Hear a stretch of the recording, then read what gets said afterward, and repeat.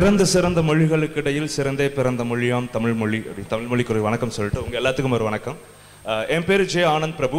And இவர் பேர் யோகேஷ். நாங்கள் ரெண்டு பேரும் சூரியன் எஃப்எம்ல ஒர்க் பண்ணிட்டு இருக்கோம். ஈரோடு சூரியன் எஃப்எம்ல ஸோ நான் morning seven to nine degree coffee அப்படின்னு சொல்லிட்டு ஒரு ஷோ பண்ணிட்டு இருக்கேன். நான் morning I mean evening four to six வந்து route number ninety one point nine அப்படின்னு ஒரு ஷோ பண்ணிருக்கேன் ஸோ கேட்டிருந்தீங்கன்னா தெரிஞ்சிருக்கும். ஓகே இப்போ இந்த ஈவெண்ட்டுக்கு வந்து ரேடியோ பார்ட்னராக வந்தோம். ஸோ ஒரு ஈவெண்ட்டை ஆர்ஜே ஹண்ட் வைக்கலாமே அப்படின்னு சொல்லிட்டு சொன்னப்போ எத்தனை பேர் இதில் இன்ட்ரெஸ்டாக இருக்காங்க அப்படிங்கிறதா தெரியல. ஸோ லெட்ஸி வர வைக்க பார்த்துக்கலாம் அப்படின்னு தான் சொல்லிட்டு இருந்தோம்.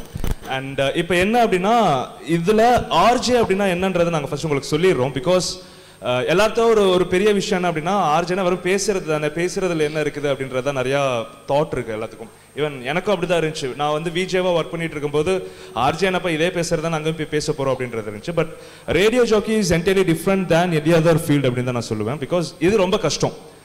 ஏன்னா இப்போ வீடியோ ஜாக்கி அப்படின்னு நீங்க போகும்போது உங்களுக்கு ஒரு விஷுவலைசேஷன் இருக்கும். நீங்க வந்து பார்க்குற மூலியமாவே உங்களுக்கு வந்து ஒரு மெசேஜ் கன்வே பண்ண முடியும். பட் ரேடியோ ஜாக்கி அப்படிங்கும்போது நான் யாருன்னே உங்களுக்கு தெரியாது.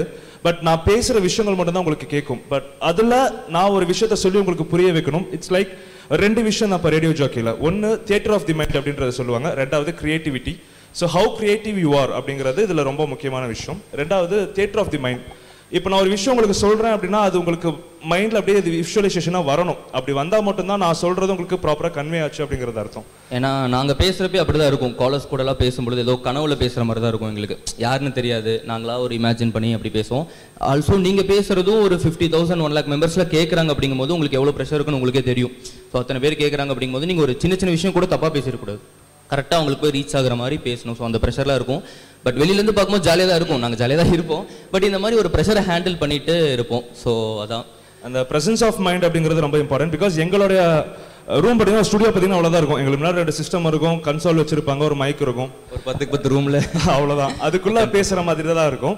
ஆனா வெளியில கேட்கறவங்க எத்தனை லட்சம் பேர் கேட்கறாங்க எத்தனாயிரம் பேர் கேட்கறாங்க அப்படிங்கிறது நமக்கு தெரியாது. ஆனா நான் பேசுகிற ஒவ்வொரு விஷயமும் உங்கள் ஒவ்வொருத்தரோடையும் இண்டிவிஜுவலாக கனெக்ட் ஆகணும். அப்படி கனெக்ட் ஆச்சுன்னா மட்டும்தான் நீங்கள் வந்து நான் பேசுகிறத காது கொடுத்து கேட்பீங்க ஸோ அப்படின்றப்போ நீங்கள் பேசுகிற விஷயங்கள் எவ்வளோ இன்ட்ரெஸ்டிங்காக இருக்குது கரண்ட் அப்டேட்ஸ் நீங்கள் எந்த அளவுக்கு தெரிஞ்சு வச்சுருக்கீங்க? உங்களோட ப்ரெசன்ஸ் ஆஃப் மைண்ட் எப்படி இருக்குது உங்களோட ஹியூமன் சென்ஸ் எப்படி இருக்குது ஒரு விஷயத்தை எவ்வளோ சட்டையில உங்களால் பேச முடியுது அப்படிங்கிறத பார்ப்போம். ஏன்னா ஆர்ஜேவை பொறுத்த வரைக்கும் ரேடியோ அப்படின்னு பொறுத்த வரைக்கும் ஒரு பேசிக் ரூல்ஸ் இருக்குது நீங்கள் வந்து பொலிட்டிக்கல் பற்றி டைரெக்டாக பேச முடியாது. அதே மாதிரி எந்த ஒரு ரிலீஜியன் இருந்தா பேசலாம். தைரியமா இருந்தா பேசலாம். அண்ட் ரிலீஜியன் அண்ட் கம்யூனிட்டியை பத்தி நீங்க டைரக்டா பேச முடியாது. ஒரு கேஸ்ட்டை பத்தி நீங்க பேச முடியாது. இண்டிவிஜுவல் பர்சனை வந்து டைரக்டா கமெண்ட் பண்ணி பேச முடியாது. இந்த ரெஸ்ட்ரிக்ஷன்ஸ் இருக்குது. பேசிக்கா பேசுறதுனால இந்த நாலு விஷயத்தை எடுத்து தான் நம்ம பேச முடியும். ஆனா இந்த ஒரு ரெஸ்ட்ரிக்ஷன்ஸ் இருக்குதுல்ல. இதை நீங்க எப்படி வந்து சட்டையரா யூஸ் பண்றீங்க? எவ்வளவு கலாய்ச்சி உங்களால பேச முடியுது? அப்படிங்கறது எல்லாமே பார்ப்போம். ஸோ இங்க வந்து நீங்க ப்ரெசென்ட் பண்ண போறீங்க அப்படின்னா ரொம்ப சிம்பிளான திங் ரெண்டு விஷயம் மட்டும் மைண்ட்ல வச்சுக்கோங்க. கேட்குறவங்களுக்கு அந்த தேட்டர் ஆஃப் தி மைண்ட்ற விஷயம் வருதா? அவங்களால உங்க நீங்க பேசுறது வந்து அப்சர்வ் பண்ணிக்க முடியுதா அப்படிங்கிறத பார்ப்போம். ரெண்டாவது எவ்வளோ கிரியேட்டிவா ஒரு டாப்பிக்கை நீங்க வந்து அப்ரோச் பண்ணி பேசுறீங்க அப்படிங்கிறது.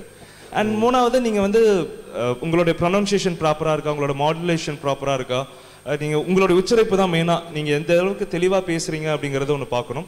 அண்ட் பொதுவா ஆர்ஜே அப்படின்ற ஒரு ஃபீல்டு வந்துச்சு அப்படின்னாலே நமக்குலாம் என்னன்னா கட கட கடன்னு பேசிடுறாங்கப்பா அப்படின்ற மாதிரி தான் இருக்கும். அதுதான். எல்லாருமே அதான் நினைக்கிறாங்க. ஸ்பீடா பேசினா ஆர்ஜே அப்படிங்களா கிடையாது. நீங்க பேசுற கண்டென்ட் வந்து டெலிவர் ஆனாலே நீங்க ஒரு நல்ல ஆர்ஜே தான். ஸோ ஒரு one minute one and half மினிட்குள்ள நீட்டா நீங்க ப்ரிப்பேர் பண்ணிக்கோங்க. உங்களுக்கு டாபிக்ஸும் நாங்க ரெடி பண்ணி வச்சிருக்கோம். ஸோ அதை எவ்வளவு அழகா நீங்க டெலிவர் பண்ண முடியும் அப்படிங்கறத நீங்க பண்ணுங்க. அதுல முடிஞ்ச அளவுக்கு கொஞ்சம் ஜோவியலா காமெடிலாம் ஆட் பண்ணி இல்ல சீரியஸா பேசுறதுனால அது உங்க இஷ்டம். பட் எந்த அளவுக்கு நீங்கள் டெலிவர் பண்ணுறீங்க